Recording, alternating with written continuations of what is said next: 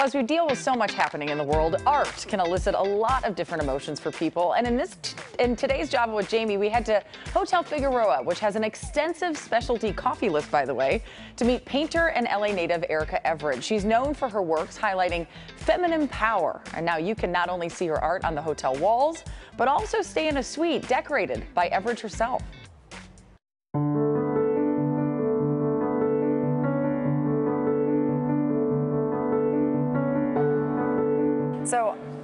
Go to the bar to get my cup of coffee, but here we are. When in Rome. Hi. Hey, how are you? Good. I heard you have a nice coffee menu. Ooh, what are we gonna do?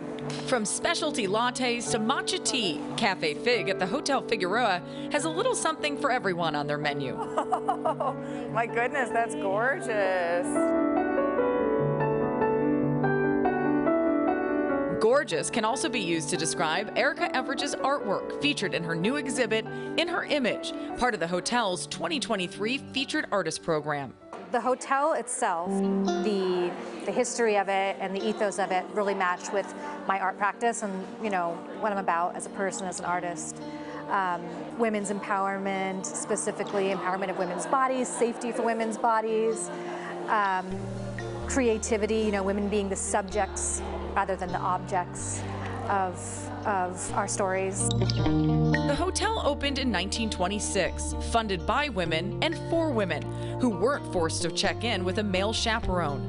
Now Everage's nearly 20 hung pieces expand the idea of bold female figures. What inspires you when you go to create your art? Well, history. Right now I'm really into the the archaeology. Visually, I mean, they're already kind of abstract, which is interesting to me, and they're very curvy and um, mysterious, so I like all those things. You know, I also use my own body um, to paint from. Um, I, I used to dance, and I still dance, but not in any I professional way, but I use my dance to make paintings.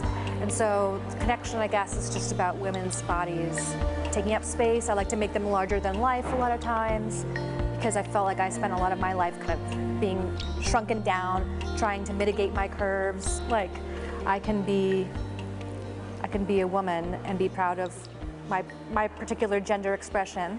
Everage's parents are interior designers, so creativity in the art space has always been part of her life, even if she didn't feel it right away. Did you know right away I'm going to go to art school? Like, no. dad's an artist? No. So, no. how did that come about? Um, you know, I was really into drawing fashion uh, characters in my room when I was like 12. And my mom saw that I was spending a lot of time doing it. Sorry, mom, I'm gonna drag you a little bit. And she's like, well, if you're spending all this time, you know, you gotta learn how to draw well. So I got sent to a figure drawing class, um, which I was a little too young to take without a parent because it's naked people. So my mom actually went with me and um, I, it became like the best part of my week. Three hours every Saturday until I went to college. I drew naked people. yeah. So what does your mom think now that she used to do art classes with you and you've turned this now into a full career? She's super, super proud.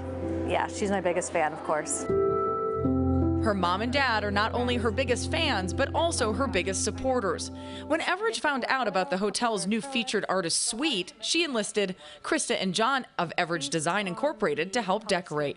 Okay, so that involved the color scheme there, and then you worked around that one. Is that the idea? Mm-hmm.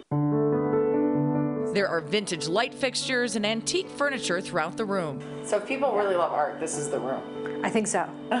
It's a lot of art. Before blasting onto the art scene, like many Angelenos growing up in Santa Monica, I thought I was going to be an actress. Oh, Barbie, baby sister Kelly needs a bath. Bath time fun, Kelly, in your cute little tub. That's Everage in a Barbie commercial from 1996. And while she went to Northwestern to study acting, she ultimately found her way back to her paintbrush.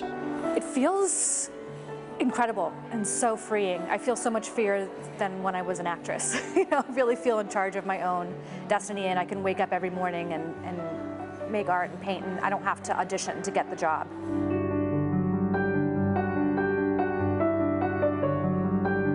So eventually, Everage wants to open her own studio. One day, she wants to teach others about art, painting those powerful female expressions. She's so incredibly talented. It's it's amazing she doesn't already have her own gallery. Right? So many people would want to go and check out her work. Well, wow. That's you walk the hallway, and it, the interesting thing too is that you know you can see a similarity in some of them, right?